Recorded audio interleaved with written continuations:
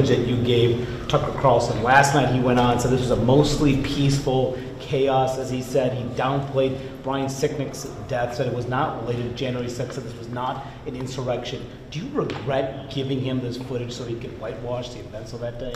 No, um, I, I said at the very beginning transparency. And so what I wanted to produce for everybody is exactly what I said, that people can actually look at it and see what's gone on that day. So. But why, but, why, but Mr. Speaker, That was Kevin McCarthy, and he's doubling down after providing over 44,000 hours of confidential January 6th surveillance footage to Fox News host Tucker Carlson. McCarthy has been taking heat from all sides for his irresponsible action, but he only had this to say. Would you agree with his portrayal of what happened that day? Look, each person can come up with their own conclusion, but I, what I just wanted to make sure is I had transparency. Do you believe- Because I know in CNN, I mean, I had here where you guys actually broke where we were. This was a secret location, Fort McNair. I don't know if you got concerned by that. I don't even know from a point of view of security if we could ever be taken there again. But when you broke that at CNN, that was a real concern to a lot of people. That's right. McCarthy gave confidential video footage to one of the country's loudest election deniers, all so they could help Americans understand what really happened on January 6th. I don't know. If this sounds like a flimsy excuse, you're right, because literally no one is believing it. See, McCarthy's argument doesn't actually make much sense. Sure, he did pledge to release January 6th footage to the American public. But here's the thing he didn't actually do that.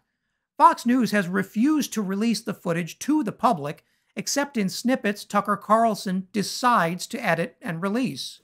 And Tucker's wasted no time turning that video footage into a multi night rant about how January 6th wasn't actually an attack on the Capitol. And Tucker is getting bolder than ever. Take this monologue from just a couple days ago. was underway. The protesters were angry. They believed that the election they had just voted in had been unfairly conducted, and they were right. In retrospect, it is clear the 2020 election was a grave betrayal of American democracy. Given the facts that have since emerged about that election, no honest person can deny it. It's important to remind you here that Tucker Carlson does not believe the 2020 election was stolen. That much has been proven through documents released in Dominion Voting Systems' lawsuit against Fox News. In text messages that will serve as evidence in the trial, Carlson repeatedly confirms he knows election deniers are crazy. In text to fellow news ghoul Laura Ingraham, Tucker jokes about how unserious election deniers like Rudy Giuliani are. Good thing Tucker doesn't care about what's actually true. And that lawsuit may be part of why Fox News seems to be going even crazier than usual. Fox is facing its toughest legal fight ever, and Rupert Murdoch has huge incentive to keep his viewers' eyes off that messy lawsuit. If that means letting Tucker Carlson spew election lies, well, that's just the cost of doing business. But it wasn't that long ago that a young journalist was warning the American people about the risks of media outlets serving as propaganda arms for political parties. His name? Tucker Carlson. the electorate's confidence in the news being real is all important. You see this when you go to other countries that don't have a history or a tradition of a straightforward, honest press, like I don't know, places like Pakistan, where I've spent a lot of time, where the press has always been dishonest. Always, every newspaper is an organ of a political movement uh, or other, and people have come over time to become really cynical about the press. They don't believe anything that is written in newspapers because they assume all of it is just another man's view. All of it is bias. At the time, Tucker seemed to think that these were bad things. In fact, now it looks like he was just providing his future self with a roadmap for destroying faith in America's public institutions. Good going.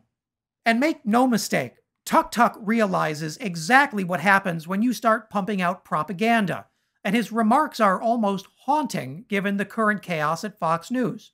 Here's more.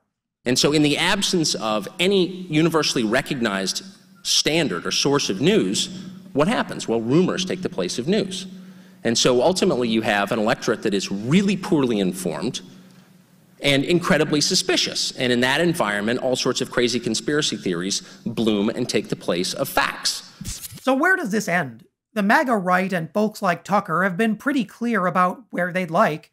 It ends with putting House January 6th committee members on trial for treason.